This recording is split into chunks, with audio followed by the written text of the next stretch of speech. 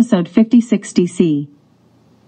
I believe wood stove certification should be replaced by fence line monitoring of wood burning emissions using PM 2.5 monitors, whether $100,000 standard EPA PM 2.5 monitors, 11 on Wisconsin EPA Air Now Smoke and Fire Maps today, or Purple Air resident owned PM 2.5 monitors, 55 on Wisconsin EPA Air Now Smoke and Fire Maps alongside standard monitors today. Purple Air monitors are correlated with standard monitors using a simple mathematical formula. Historic data of weekend and overnight PM 2.5 stored on the Purple Air website can be downloaded by government officials during normal working hours. There is no need to enter a residence to know wood burning is occurring and to take steps, beginning with fines, to shut it down. Indoor wood stove smoke is the same as outdoor wood boiler smoke. Twelve years ago, I helped pass local ordinances across Wisconsin against outdoor wood boilers, but new laws will have to be passed for indoor wood stoves, although both forms of wood burning, indoor and outdoor, produce the same resulting emissions, PM 2.5 that invades the yards and infiltrates the homes of near neighbors.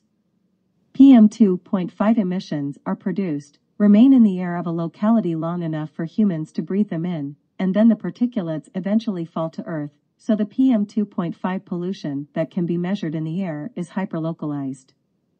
That doesn't mean that the pollution doesn't exist, but it is not caught on most traditional EPA PM 2.5 monitors costing $100,000 and not caught on any PM 2.5 monitors at all if they are not near the stationary source.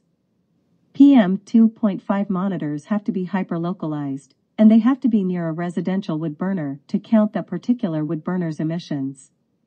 PM 2.5 monitors are not located in enough places to pinpoint each source of pollution and help near neighbors solve their health problems by shutting down indoor residential wood burning.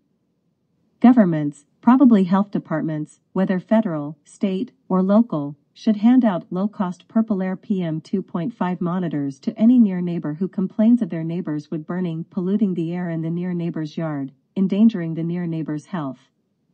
There should also be laws accompanying those government PM 2.5 monitor handouts saying that data from those monitors should be evidence to shut down each individual wood burner stove or wood burning fireplace, etc., whose stack or fence line has PM 2.5 levels above government limits, whether annual limits of 8 micrograms per meter cubed or daily limits of 25 micrograms per meter cubed.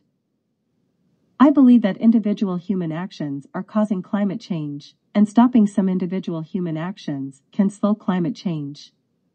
I believe that wood burning is not carbon neutral.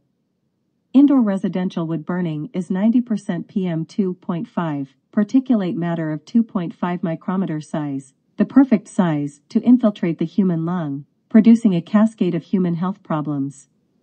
Near neighbors' yards can be thought of as fence line measurement sites, or even stack measurement sites if neighbors are close enough to the wood burner stack.